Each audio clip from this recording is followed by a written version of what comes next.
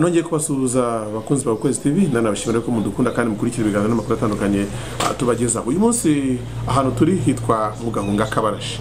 Mu gahunga kabarashi ni hamwe mu hantu hazwi cyane mu mateka y'u rwanda. Ah, abantu benshi mu rwanda hari indahiro bajya bagira bakirahira umuntu benshi batanazi badasobanukiwe.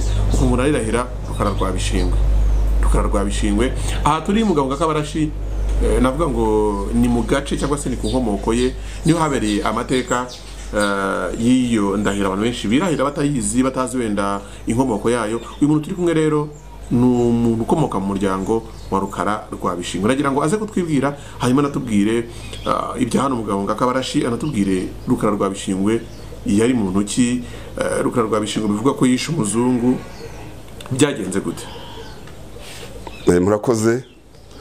Nitwa ndagijimana yuvenali nkaba mvuka mu muryango w'abarashi kwa rukara rwa bishingwe Eh, urambajije ngo ni he ni he ni he ni mu gahunga ni hano ni mu hitwa mu murira kera.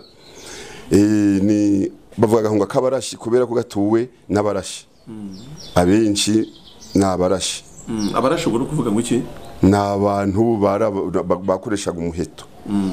Bakoreshaga umuheto mu- ku rugamba guhiga. Noneho hitwa gahunga k'abarashi eh, kwa rukara rwa bishingwe bya sekidandi ya ndagado kwa rwiri rwa bugingo kwa musubira nyancambwe no kwa kagara ka nyirarucaho rwa gihanga canze nka ingoma aho ni ho iwacu turi abarashi b'abacaba. Mu yandi magambo ubwo nkurikije igisekuru uvuze rwa bishingwe akomoka kuri gihanga ngo mu ijana. Yego. Eh. ngaho rero tubwire nk'umuntu ukomoka muri uyu muryango rukara rwa bishingwe amateka ye yaje kwamamara mu rwanda hose ni ayahe byagenze gute? Amateka rukara yaje kwa- yaje kwamamara rukara ubundi yari umusirikare umusirikare w'umwami. Ku ngoma ya Rwabu- ya rwabugiri ku ngoma ya musinga rukara yari umusirikare ibwami. Afite imitwe afite uruyenzi urukandagira bemera nzigwe abakemba. Iyo yari imitwe yakoranaga na yo. Rukara rwa bishingwe rero yavutse mu gahunga. Hano ni mwene ni mwene bishingwe nyina kavumbi nyina Nyi- kavumbi. Ariwe nyina w'ivubi hano. Rukara rwa bishingwe rero umucyaba umukurambere wacu. Twebwe ab'iki gihe n'abo n'abatubyaye ni we ni we sekuru wa hano mu barashi. Wowe uri mupfana iki? Ubwo nje ndi umwuzukuru noneho rukara rwa bishingwe rero amateka y'ukuntu yamenyekanye cyane cyane ni ku muzungu. Waje aje kwigisha kwigisha ntabikore akaza ahubwo aje mu bintu bya politiki. Bikanavamo bikanaza kuvamo gusiga ubuzima na sogokuru akanaba umwaka rukara rwa bishingwe yari yari ibwami noneho haza umuzungu rupiyasi ari we rugigana pole. Aza ibwami gusaba umuntu wamuyobora mu murera. Baravuga bati umuntu uri hano ni rukara. Kandi rukara ubwo nubwo yari afunze yari afungiwe ibwami bavuga ko yasuzuguye umugabekazi. Baramba bamufunze bati rukara ari hano ariko arafunzwe. Umwami ati mumurekure ajyana umuzungu amugeze iyo agiye mu murera kuko rukara ni we uhazi banarazanye bari n'inshu- ubwo bari inshuti. Bageze hano mu gahunga umuzungu asigara irwaza ni ho bari bafite ni ho bari bashaka kubaka kiliziya. Banashaka gukora hano noneho eh, agace ka eh, santarari hano mu gahunga naho bateganya kuzahashyira kiliziya. Umuzungu rero ubwo yam- yamenyeshe rukara igihe azazira mu gahunga araza barabana bakavugana neza ariko nyuma haza kuzamo abantu n'umuzungu ahindura kamere agaca imanza. Agatumiza ku bantu bakamujyanira ibibazo. Kandi icyo gihe imanza zacibwaga n'umwami ngo imanza zari iz'umwami na rukara yacaga iz'iwabo umuzungu akivanga muri izo- manza agera igihe noneho amutumaho ariko bakabwira rukara bati "Umwa- umuzungu ari guca imanza z'abaturage. Atuma kuri rukara ubwo hari ikibazo cyari cyaje ku muzungu cy'uwitwa bitaha urugamba ni muramu we. Bitaha urugamba ni um- ni umugabo wa nyirasugi ni mushiki wa rukara ni umukobwa wa bishingwe. Wa wundi nyirasugi wumva ko inka zitabarika. Bateye umujugujugu aho uguye barizo nka bagarura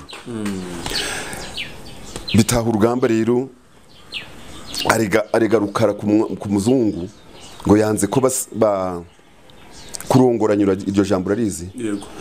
Ngo yanze kumurongoranya inka yakoye ngo rukara urubishinga ubwo yaramaze igihe apfuye none umu- aje kumureba ku muzungu ati yanze kundongoranya. Rukara nyine aravuze ati ntazo nga ndaguha. Cyo warazisabye so ubukwe bishingwe. Eh, umuzungu amutumaho rukara aranina. Amutumaho kabiri aranga amutumaho gatatu rukara aranina. Rukarageza aha aravuga ati ariko ndakomeza ku- kunina kugeza ryari? Afata abahungu barabatuma batuma ku nshuti ze zo hirya no hino. Afata karaya aramutuma afata jakera aramutuma afata uwitwa ndagijimana ni naryo zina rikomora nawe ni umuhungu we.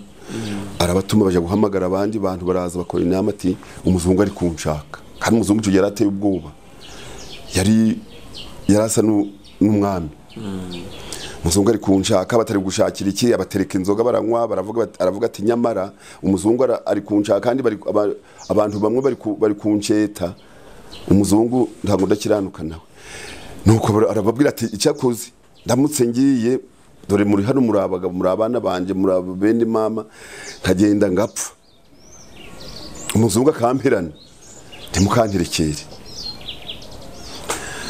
Byarabaye ba- ba- imihigo ira- imihigo ire- ba- ba- baja mu mihigo bavuga imyato barangije bitaba umuzungu hano hitwa kuri nyabyungu hari n'ikiliziya cya paru- paruwase gahunga. Baragenda ba- ba- baramanutse umuzungu nawe yumva abantu bari kumubwira ati abarashi baramanutse. Umuzungu araza abwira rukara ibintu byitwa iyambu. Iyambu ntiyari mbi. Ariko iyambu yagizwe mbi nuko ayimu- abimubwiye n'uburakari afite. Rukara ntiyari azi iyambu. Nuko. Ru- rukara aramubwira ati iyambu iya- uriyamburira ari wowe ati njye mfite abana. Ati kwamburwa abana bafite ntabwo byashoboka. Umuzungu ati arasema nina abaza umusemuzi yari afite. Afite umusemuzi witwaga Pa- pauline ni we wari uzi igiswahili. Undi aramubwira ati ari kuvuga ngo uriyamburire ngo afite abana ngo ntabwo ufite umuzungu baramufashe barafatanye baragungiranye bara- barafatanye ba- bikubise hasi ariko rukaramurusha ingufu aramufata.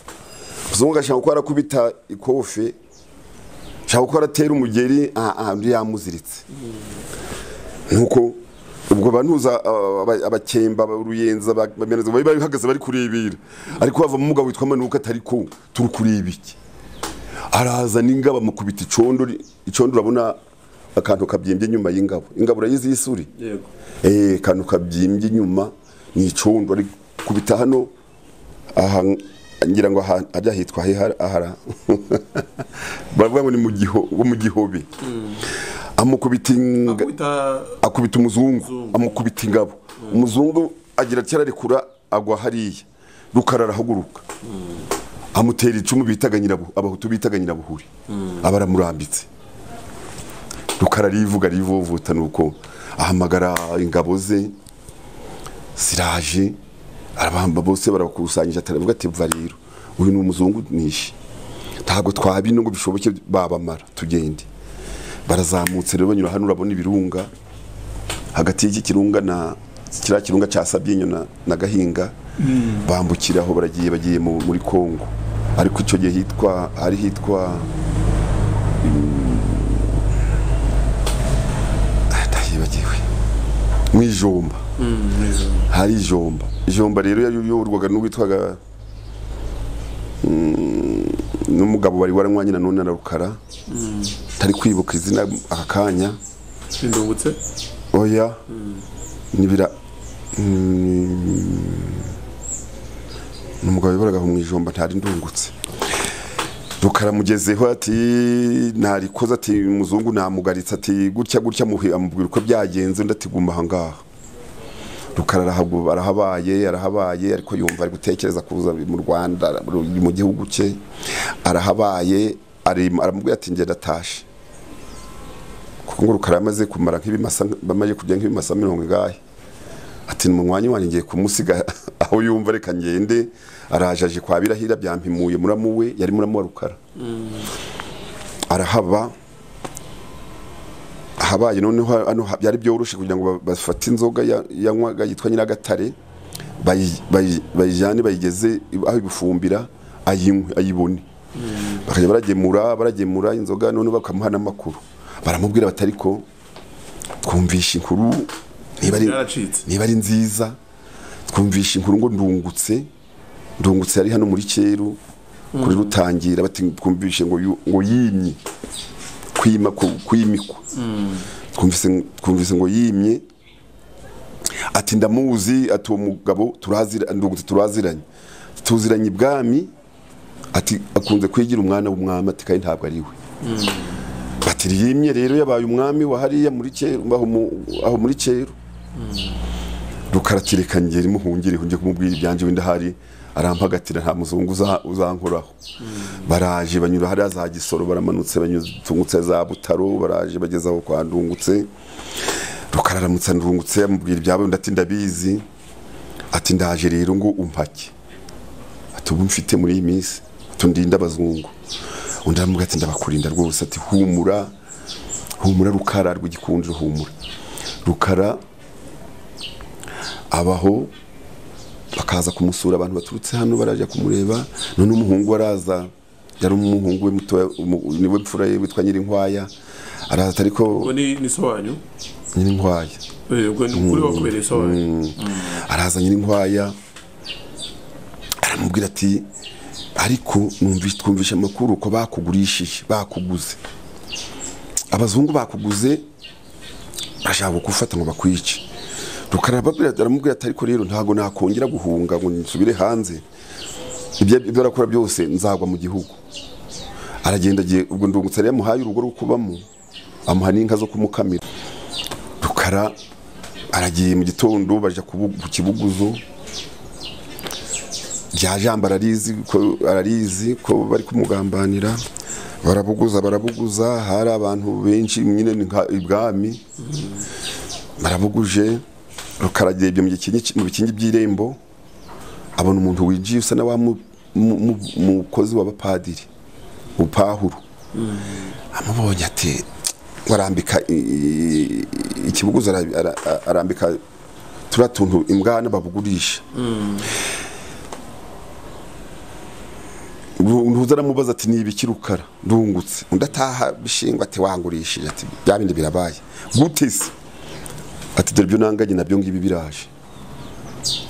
Pawulo araza aramu- aramusuhuza rukara ara- rukara mwima intoki. Mm, ariko biravugwa ko icyo gihe rukara ngo yahise avuma ndungutse.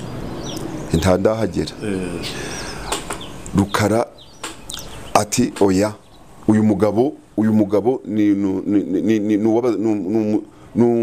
umukozi w'abazungu.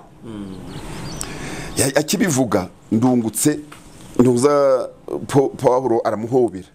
Amuhobera rukara mwikura agiye kubona abona ingabo zahageze nyinshi zagwishije zaje. Ingabo rero zarimo abantuza abasirikare b'abadage eh, n'aba- n'abanyekongo. Bafite imbundugu bafite imbunda n'ibi- n'ibi- n'ibiri ndembo. Baraje baramufashe. Baramufashe baramukomeje bamwambitse ibi- ibintu by'iminyururu ubundi ni iminyururu. Barabimwambitse. Rukara ati ndungutse sinakubwiye ko wangu- wangurishije. Undi rero ubwo amubwira uturwamo twa nyirarureshwa rukara bagize aca akubura impuzu aramuhenera imyenda w'umucaba ni naho havuye ijambo bavuga ngo abacaba ngo ni abateramwako kuko ubu ndungutse nta nta cyumweru cyashize. Nawe numva ngo yapfuye nabi nawe bamwirutse n'amacumu bamuterera amacumu iyo hagana za nyabugo za za nyabugogo. Bukara baramushoreye bamuzanye mu ruhengeri hariya. Igihe cy'imanza ariko batuma ku bantu bacu hano bamukomokaho bamanukana inzoga. Inzoga ni nyinshi. Baragiye bageza aho urubanza rurabera rukara bamucira urubanza ni bwo umuzungu witwa razima amubwiye ati rukara wishe umuzungu. Twagufashe wishe umuzungu. Rukara ati naramwishe. Ati umuzungu naramwishe. Ati kuko ntawe mbyigoragoraho bati bati sinone. Ntabwo uhakanye ntawe mpakanye ariko hakaba hari abantu bari baje babatemwe bo kumushinja. Haza biganda haza ruzirampuhwe haza ndangizi. Baraza baravuga bati uwishe umuzungu. Ni rukara rukara tumva rero wa muzungu we. Dore nishe umuzungu nanjye ngiye gupfa. Ntuzankurire ku bana. Uzandikira abana babeho kuko turishuranye. Ntuzankurire ku bana. Umuzungu arabyemera. Nuko rukara aba aramusabye atumva rero wa muzungu we. Dore ngiye kunyongwa. Kuko umuzungu aramubwira ngo tugiye kumanika tukurase. Ati yampaye nka bishima ngiye gupfa nk'imbwa. Ngiye kugwa mu kimaniko. Bati rero wa muzungu we. Nshakira inzoga. Umpa inzoga y'igitutsi nyimwe njye kunyongwa umuzungu baragiye baratumije batumiza urwagwa. Barayizanye rukara arayitegereza arayisoma arayicira. Ati wa muzungu we nabaho. Sindanywa kigombe. Mm. none se turamuhiye baragenda bazana ikigage. Anacarakire baravuga ati cyo nawe yagisomye ati ntabwo nzi guhegeta ibivuzo. Bati ubu aramubwira ati buriya abarashi bazanye inzoga inkwiye ya gitutsi ngiye kuyinywa unyonge. Uje n'indagiza kunywa unyonge. Rukara bara- bageze batya bazana inzoga barabaranywa aranywa nuko abaseza ati ruyenzi murabeho bemera zigwe murabeho bakemba murabeho. Ruyenzi nuko arangije kunywa inzoga baranyoye nuko abasezeyeho baramutwaye baramujyanye hariya ahari gereza ya- ruhengeri. Naho bamunyongeye ngo bamuzamuye ngo ahantu ngo sinzi ibyo bari barubatse ntaho nabibonye ntaho mbizi. Bamuzamura hejuru ageze hejuru ubwo umugabo manuka manuka rero akaba ari mwe ni umuhungu wa rukara mu muryango. Rukara ni se wabo.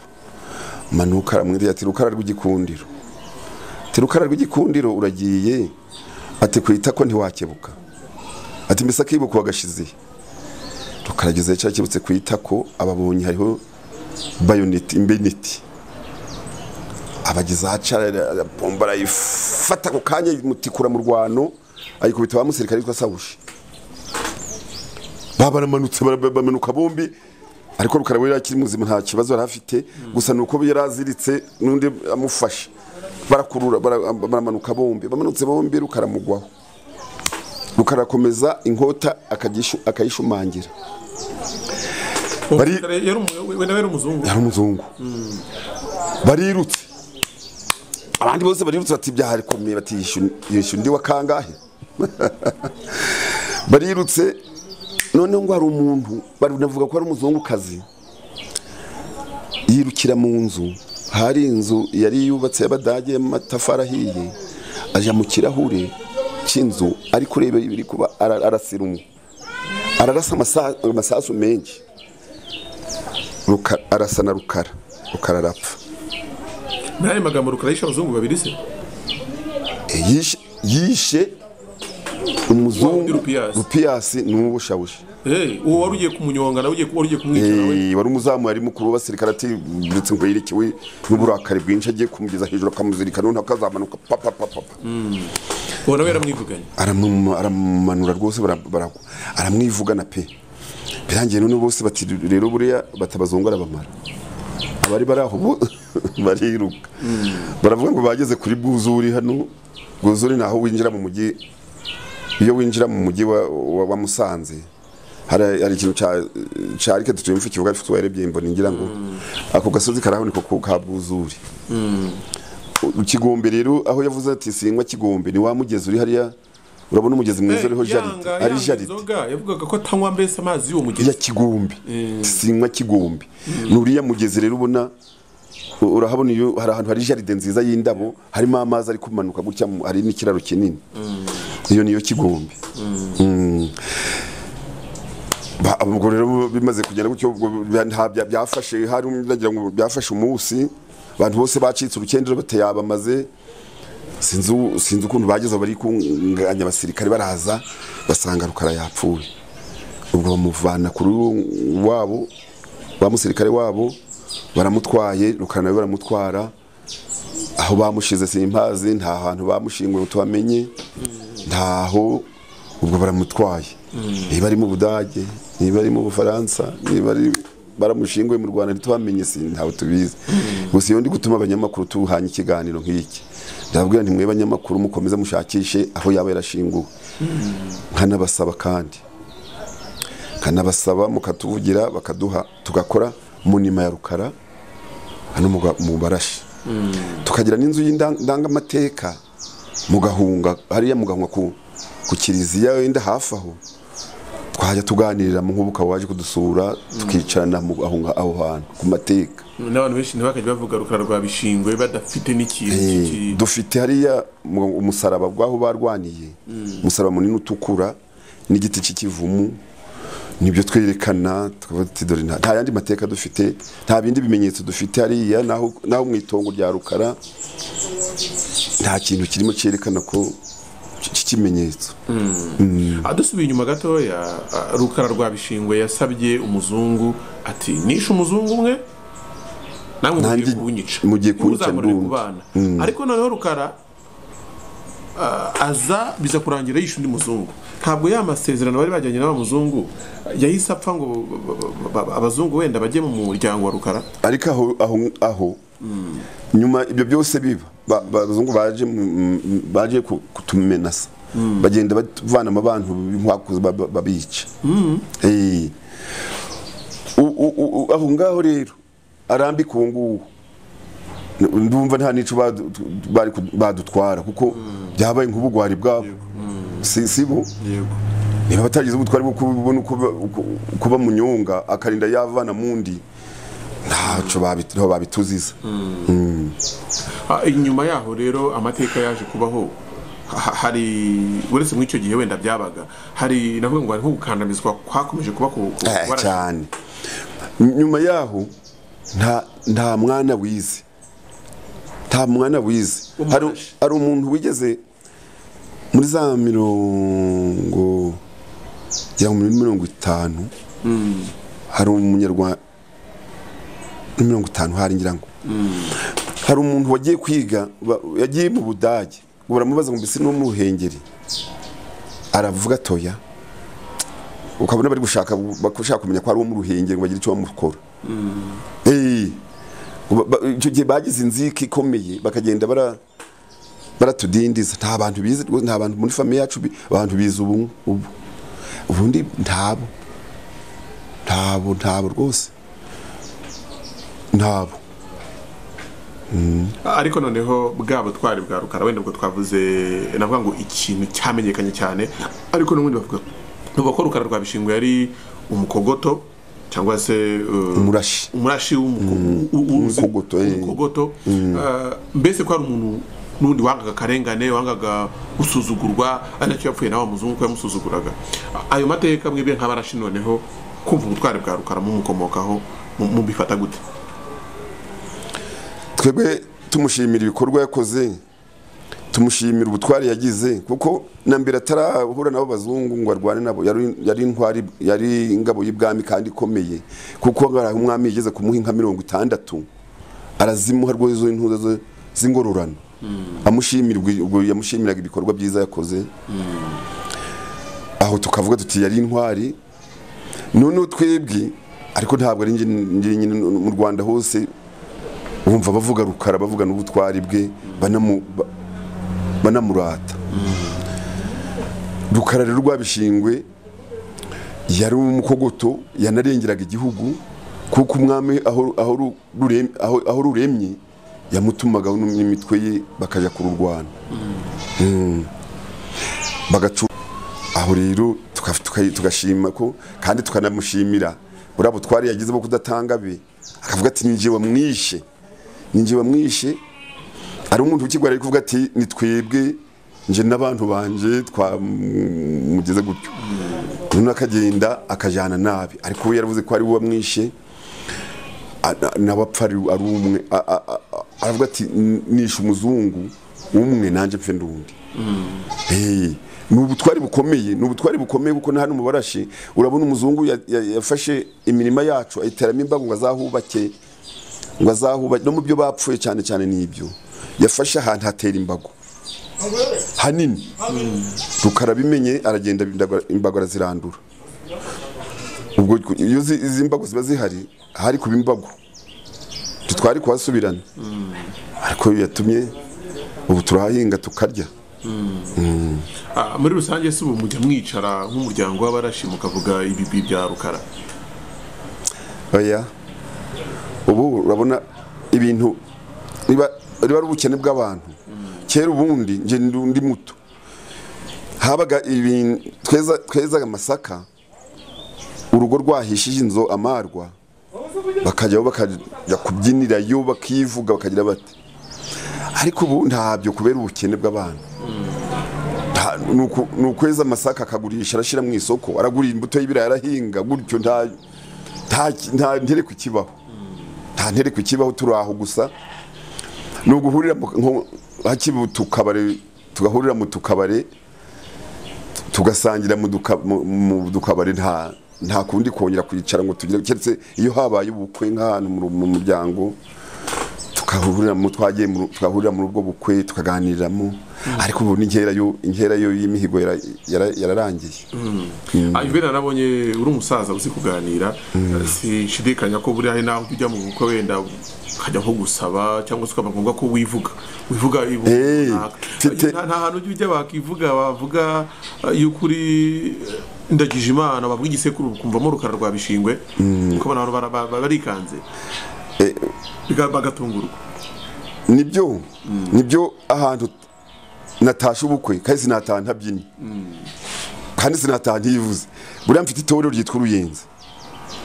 Iryo torero unararizi waribonyeho buriya waribonyeho nubwo wenda utari utarimenye. Mfite itorero muri bibiri na gatatu namamaje perezida wa repubulika. Mu gihugu. Ni itorero uruyenzi. Kubyina rero ndabisanganywe ndabikunda ndabizi. Ubwo ni ukuvuga ko mu bukwe bw'ibyo ntaho nataha ntabyinnye Eh, ntaho nataha ntabyinnye ariko kandi iyo bavuze ngo rukara rwa bishingwe ndi- kwivuga. Nka- nkivuga nkamuvuga nyine abantu bose baza no kumbaza aya mateka umbajije. Bati tubwire ni- igihe ni gito? Bati "Ki- tunushireho nkababwira utu dukeya kanagenda. Kana- ariko bakaba abantu bakunda rukara burya. Abantu baramukunda. Cyane. twari tuvuga ubu bose bayirahira rukara rwa bishingwe wishe umuzungu. Eh. batanazi neza wenda n'ayo mateka b'umuntu bamenye gutya inkuru ikwira mu rwanda hose. Ukuntu banamukunda ukuntu banamukunda iyo ugeze wenda nka za rusizi nahe banakunda no kumugereranya n'abasore nkawe. Bafite ingufu. Kuko umuntu wese uvuka hano ahitwa rwa ruhengeri akaba ari nk'icya nyine rusizi. Baramubaza ati ruhati ndi uwo mu- ruhengeri. I musanze. Baturo kwa rukara rwa bishingwe uwo ari wese ubwo aba ari umuhungu we aba ari umwuzukuru ubu rero ntiwakunda umuntu ngo umwiyitirire utamukunda. Ntabwo utamukunda ntiwamwiyitirira ni ho rero mbibonera. Nk'ubu bakambuza ati hari umuntu w'umushoferi kigali w'umusore wirabura munini. Bati avuga ngo kwa rukara ntubu ni uwacu ariko n'ubusanzwe ngo yari yari afite ibigango yari umugabo muremure wirabura. Na- na- n'abantu bari kudukurikira bareba ndagije imana ba- ba- bashobora guhita bibwira uko sekuru yanganaga oya hari abandi bantu ba data wacu ni abagabo bari barebare. Ubu ni nk'igikuri muri bo. Bari barebare rwose abagabo barebare birabura turaba burakashutazi So, ndagije imana juvenal rero ndagushimiye ku mwanya uduhaye. Ngira ngo n'abantu bajyaga bifuza kumenya amateka ya rukara. Yego. Bajyaga bifuza kumenya kubona n'umuntu wo mu muryango we. Ndayabahaye. Yabahaye ngira ngo nawe turagushimiye cyane. Murakoze cyane.